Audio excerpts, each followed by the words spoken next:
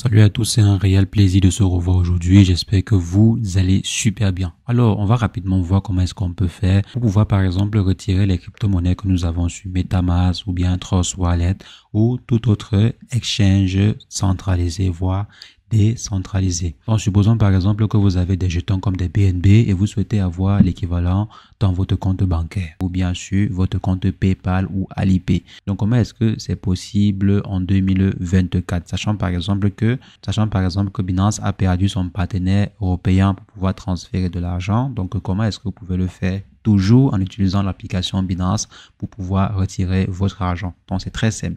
Pour cela, on va juste transférer. Donc première étape, c'est quoi? Vous transférez vos différentes crypto-monnaies de votre compte Trust Wallet ou bien MetaMask vers votre compte Binance. Donc, je viens par exemple ici sur Binance et je m'en vais dans recevoir. Donc, je viens ici, je m'en vais dans portefeuille, je m'en vais maintenant ici dans dépôt. Donc, je viens dans dépôt ici.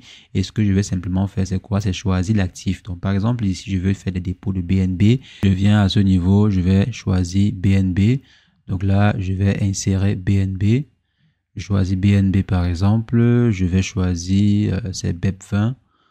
Là, le protocole, je copie l'adresse comme ceci. Je viens ici, je m'en vais, j'envoie la crypto en question. Donc là, désolé, je viens ici, je m'en vais à ce niveau et je clique sur envoyer. Donc, je vais par exemple envoyer ces BNB-ci à mon adresse Binance. Après avoir effectué cela, les cryptos en question seront dans mon portefeuille.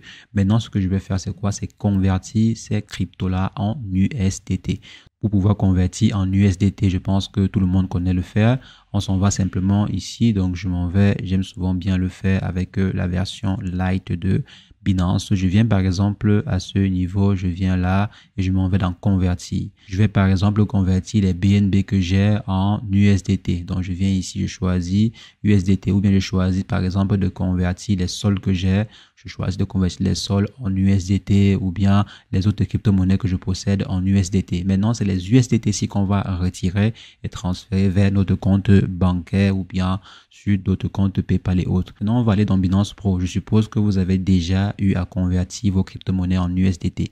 Après l'avoir fait, on va utiliser la fonction de peer-to-peer pour pouvoir transférer notre argent.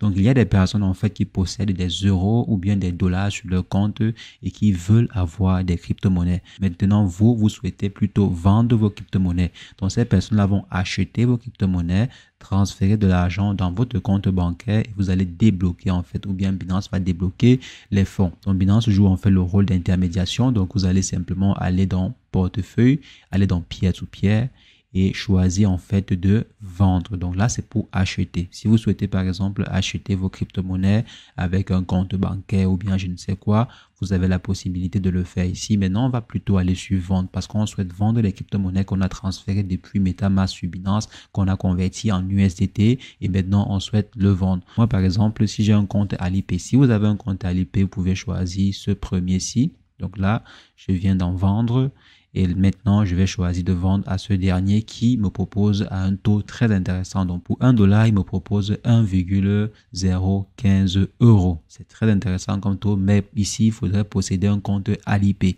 Alipay a ses avantages et ses inconvénients. Pouvez aussi, bien sûr, chercher des paiements par PayPal. Par exemple, venez ici, chercher même Alipay. Donc, il y a par exemple Alipay ou bien Pay, je crois, il y a euh, Payer, Payer aussi. Si vous choisissez Payer, vous pouvez trouver certains fournisseurs qui vous proposent également de payer par PayPal. Ils sont nombreux là. PayPal normalement n'est pas défini automatiquement sur l'application. Donc il faut chercher en fait les différents partenaires qui proposent cette fonction, qui proposent en fait PayPal. Je viens ici, je m'en vais dans vendre et je vais lire ce qu'il a écrit. Donc je vois ici, cela lui a fait des propositions. Donc là, il n'a pas fait de propositions. Il y a d'autres qui peuvent, par exemple, vous écrire plutôt cela en commentaire, donc en texte, en précisant en fait qu'ils font également des retraits PayPal. Mais maintenant, on va choisir, par exemple, un retrait vers notre compte bancaire à nous.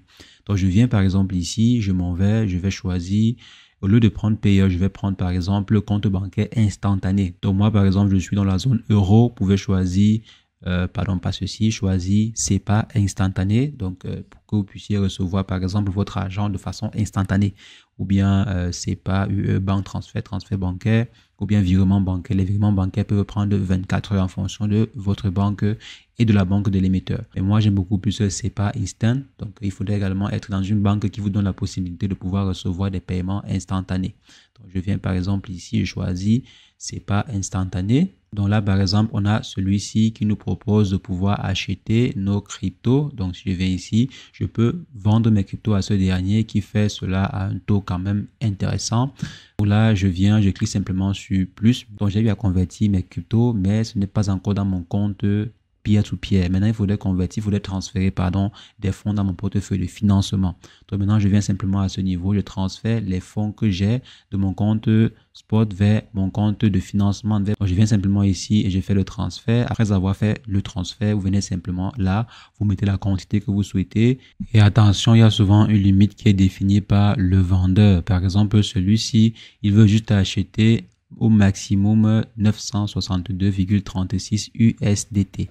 Donc c'est le maximum qu'il va acheter. Donc vous mettez votre montant ici. Donc vous venez par exemple là, vous mettez votre montant maximum qui ne peut pas dépasser, comme j'ai dit, le montant de l'acheteur. Vous mettez ici et ensuite vous cliquez sur vendre. Vous va cliquer sur vendre. L'acheteur peut vous demander par exemple vos informations bancaires pour effectuer le virement. Quand il vous demande cela, vous l'envoyez et le tour est joué. Il va effectuer le transfert. Lorsque vous allez recevoir, attention, c'est quand vous recevez l'argent, vous recevez, vous actualisez le compte, vous vous rassurez que le compte a été crédité et qu'il n'est pas en attente. Donc le compte a été crédité et terminé, la transaction est terminée. C'est quand vous êtes rassuré que la transaction est terminée que vous cliquez maintenant sur j'ai reçu l'argent. Généralement, vous allez voir apparaître à l'écran une option qui vous permet de pouvoir valider la transaction que vous avez bien reçu l'argent. Bien sûr, si vous recevez l'argent et après vous dites que vous n'avez pas reçu l'argent, vu que les différentes cryptos que vous avez eu à insérer à ce niveau, les cryptos que vous avez insérés à ce niveau sont bloqués par Binance. Donc Binance bloque les cryptos en question. Maintenant, si vous voulez jouer au malin, par exemple, que vous recevez l'argent, mais vous ne débloquez pas les sous. Binance va simplement demander à l'émetteur d'envoyer les différentes preuves. Et quand ce dernier va envoyer les preuves à Binance, Binance va faire les vérifications. Et si jamais ce dernier a raison, votre compte pourrait être bloqué. Et également, les fonds en question vont être transférés à l'acheteur. Donc, faites attention. Il ne faudrait pas jouer au malin jouer pour malin avec la fonction de pierre to pierre de Binance. Donc euh, les amis, voici comment est-ce que vous pouvez faire pour vendre vos crypto-monnaies ou bien pour transférer vos crypto-monnaies de, votre compte MetaMask, Trust Wallet ou bien tout autre exchange vers votre compte bancaire. C'est très simple. J'espère que la vidéo vous a été utile. Si vous avez des questions, n'hésitez pas. Mettez-les en commentaire. Je me ferai un plaisir d'échanger avec vous. Et sur ce, portez-vous bien. Ciao, ciao.